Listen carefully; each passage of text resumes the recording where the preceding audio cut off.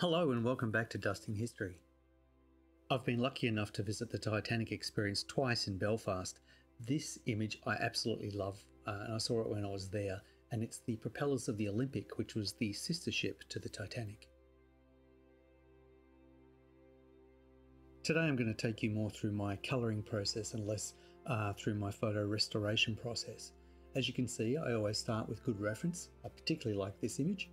And the first thing I want to do is adjust with a curves control the luminance of my image to better match the target one or the reference that I found.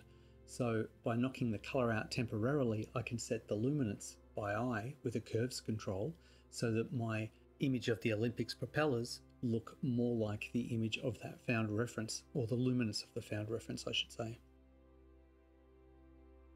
And turning that off, that then becomes a good basis or a departure point for me to start adding colour. Now what I'm going to do, because I have no idea where I'm going yet, is I'm just going to fish around and one of the first things I'll do is work with gradient maps. And so by looking at the different parts of the image, like the colours of the propeller or the colours of the red paint job on the uh, reference, I can start setting up some rough colour maps and using gradient ramps. And then you'll see what I'll do is mask these gradient ramps into a few different areas and that'll put broad color into the areas I want to work on.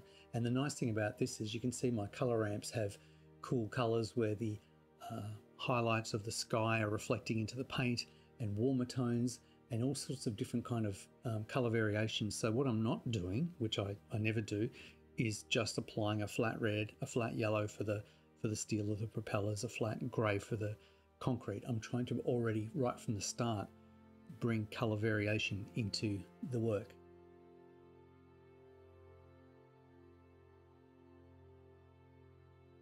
So now I'll quickly select the areas of interest that I want to mask each one of those color ramps into and I'll make some um, quick masks and then I mean this is pretty rough but it's just to sort of color by numbers quickly the, the whole palette just to get an idea of where I'm going.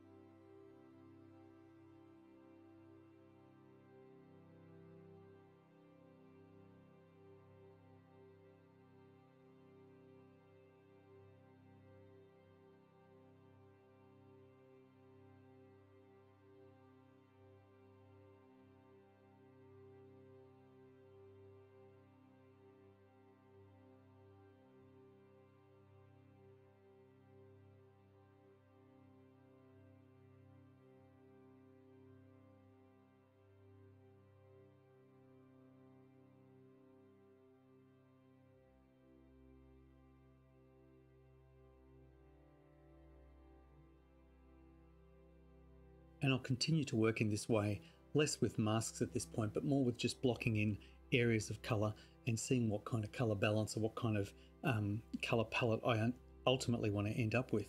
And then I'll start working over it and over it, bringing more and more refinement and more uh, color based on observation into the into the plate. And you can see even when I do skin tone here, I like to do sort of more flushed cheeks more sort of standard skin tone on the face and then sort of more blue grey on the um, flat planes of the cheeks and the forehead and the bridge of the nose where they're looking up into the sky and their shiny faces are reflecting more of that uh, neutral sky colour.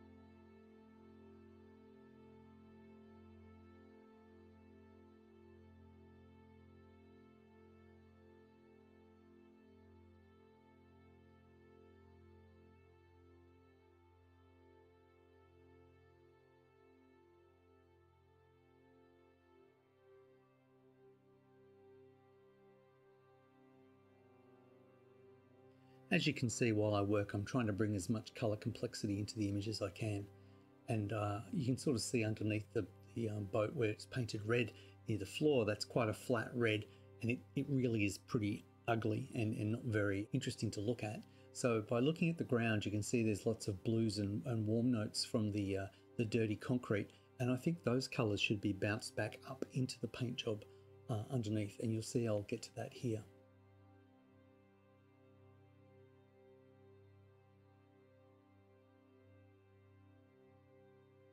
So hopefully the ship still looks red, but it's red with more, a more complex palette.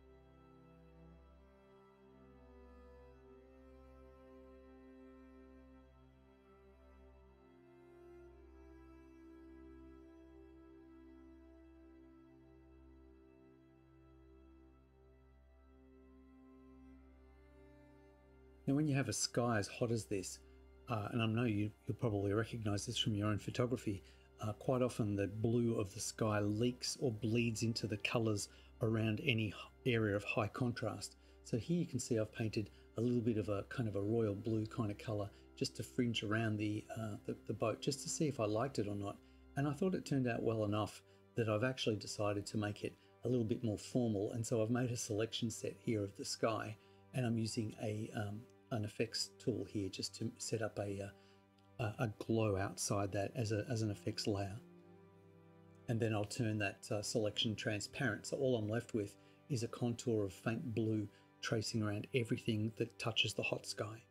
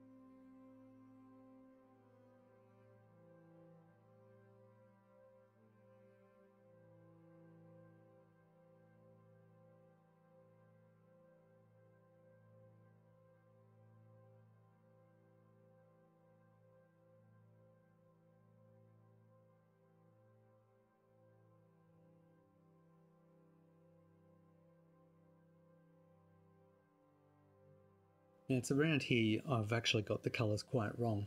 This um, big rudder assembly is not uh, black or, or grey as I thought it was, it's actually red.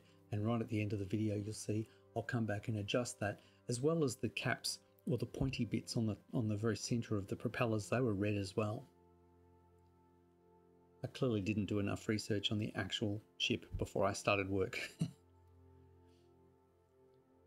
Now here looking at this dry dock I figured a little bit of this limey green moss would be nice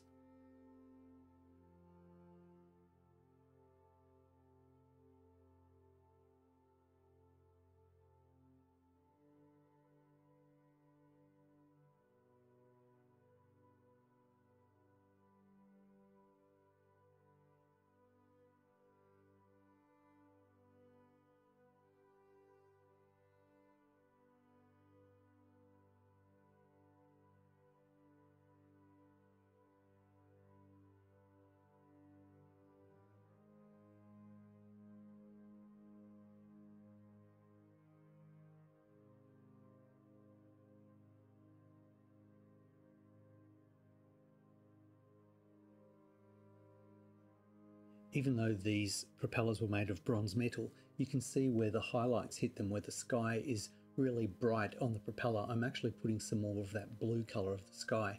Um, the actual sky in the image here is white, but if you were to stop that down, it would turn into the blue of the um, of a blue sky. So I figured that was a nice thing to do. And I'm trying to bring a little bit of blue into the shiny water that's on the planks in the foreground. Anywhere I see a bright highlight, I'm trying to introduce that blue just faintly.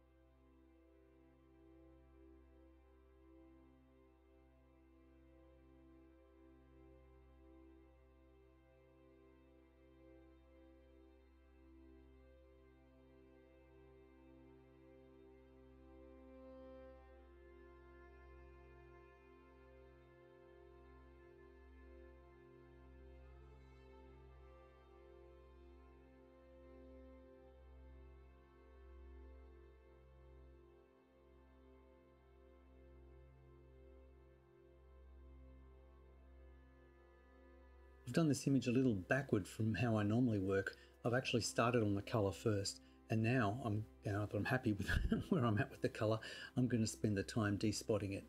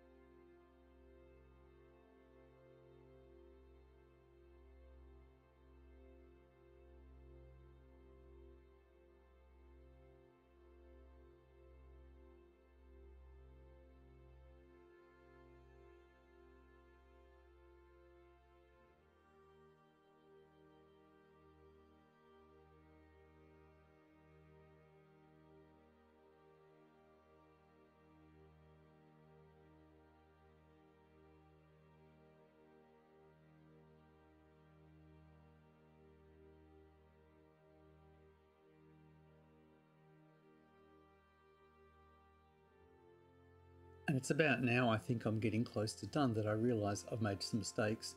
These areas are steel and not red, although I couldn't see where they ended because the image was too dark. And these little caps are the red bits I was telling you about. Even the um, bolts were painted red, as far as I can tell from the reference I've found.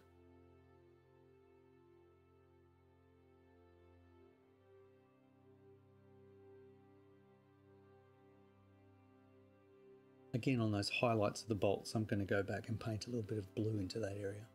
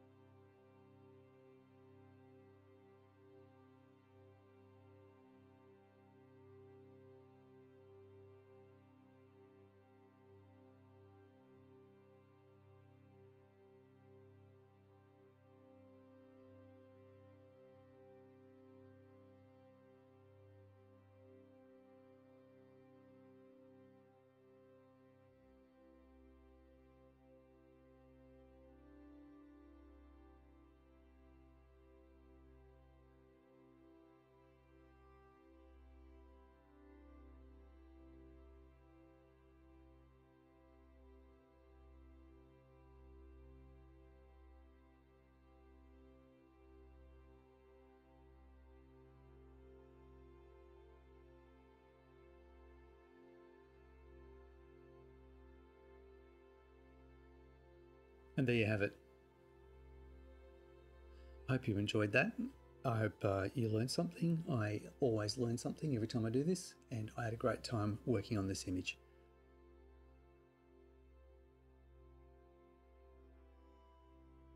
I'll see you next time. Thanks.